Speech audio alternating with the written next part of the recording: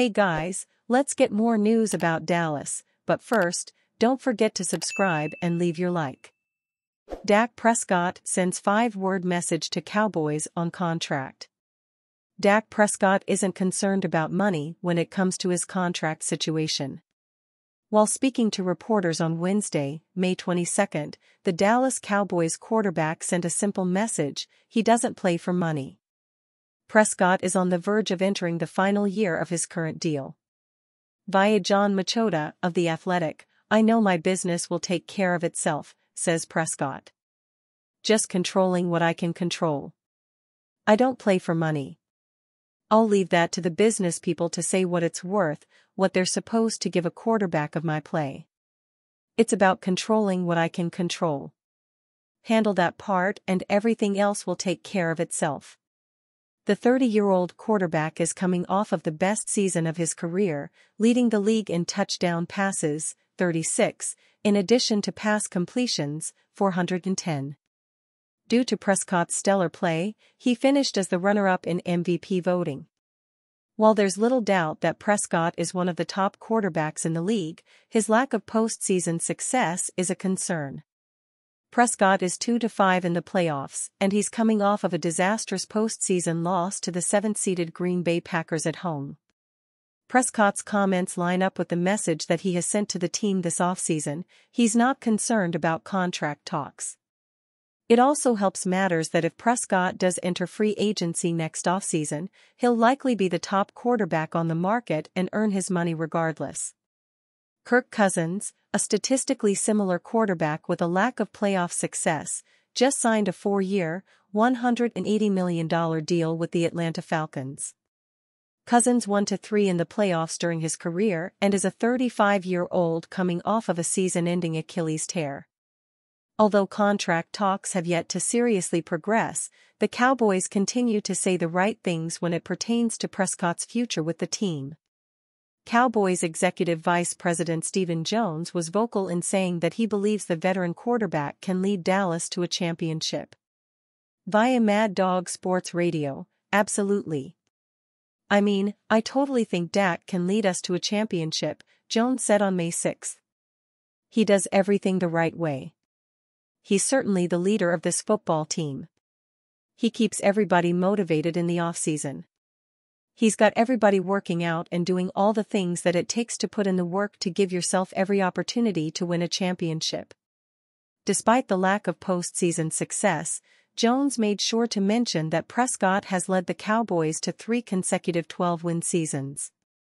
That's actually the second most regular season win since 2021, only behind the Kansas City Chiefs, who have won two Super Bowls in that time frame. It just so happens that sometimes, you know, that old oblong football doesn't bounce your way, said Jones in the same interview.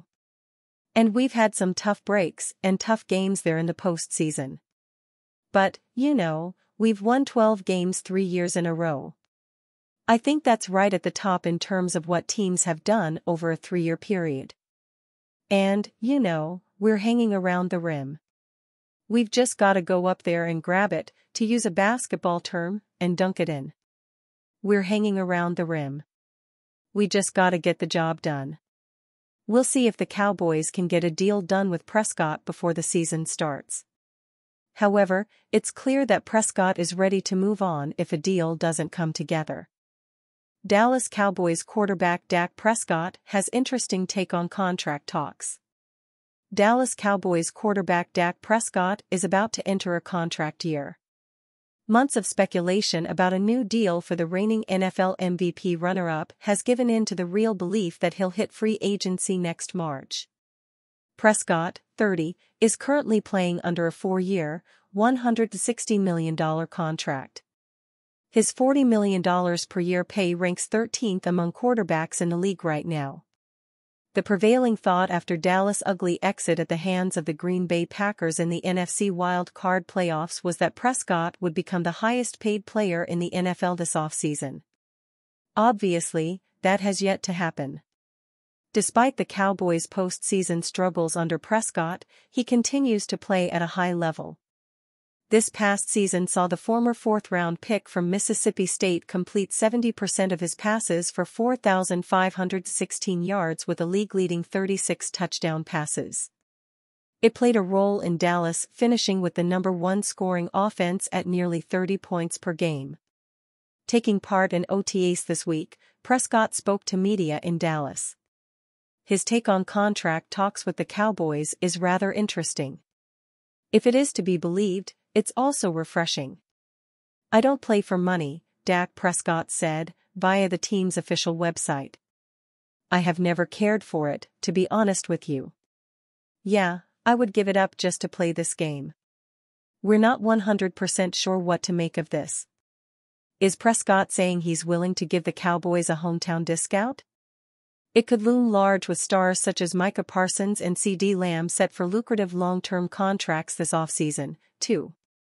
I allow that to the business people to say what it's worth, what they're supposed to give a quarterback of my play, a person of my play and a leader of my caliber, Prescott continued.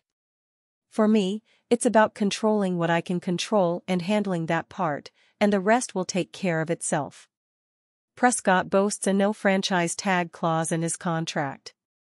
He seems to have the advantage in contract talks with the Cowboys. Whether that will lead to something coming to fruition ahead of Week 1 against the Cleveland Browns remains to be seen. New York Jets send Mike Williams to Cowboys in ridiculous trade proposal. You know you're deep in the depths of the NFL offseason when you start to see nonsensical trade proposals like the one we're about to discuss. Just as a quick disclaimer, no, the New York Jets should not and will not trade Mike Williams. The Jets signed Williams to a one-year contract worth up to $10 million this offseason with the hopes that he could provide Aaron Rodgers with another much-needed weapon. The expectation is that Williams, who is recovering from a torn ACL, will be ready to go for the start of the season.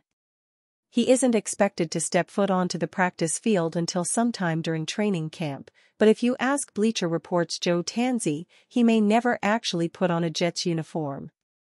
Tansey recently proposed three shocking trade ideas for the Jets this offseason, and one of those ideas involved the Jets sending Williams to the Dallas Cowboys in exchange for a 2025 third-round pick. Why would the Jets do this exactly?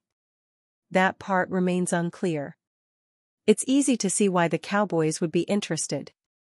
Williams has a pair of 1,000-yard seasons under his belt and, when healthy, is still one of the better wide receivers in the NFL.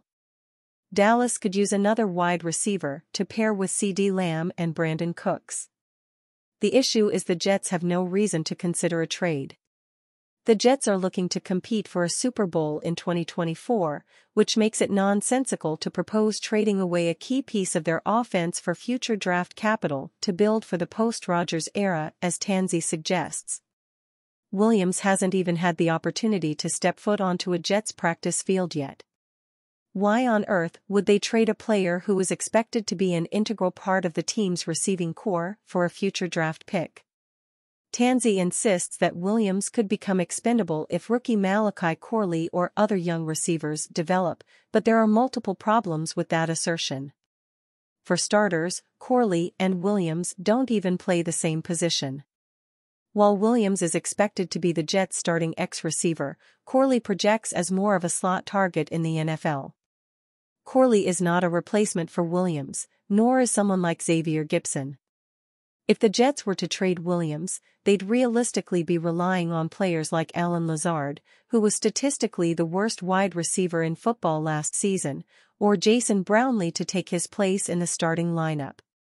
That's not exactly a wise strategy for a contending team. Tansey's assertion that the Mike Williams era in New York may not last long is entirely nonsensical and void of any factual basis. In short, it doesn't make any sense. The Jets aren't going to trade Mike Williams. Chalk this proposal up as a needless offseason talking point. And you fan? What do you think of the situation of Mike Williams? Leave your opinion in the comments.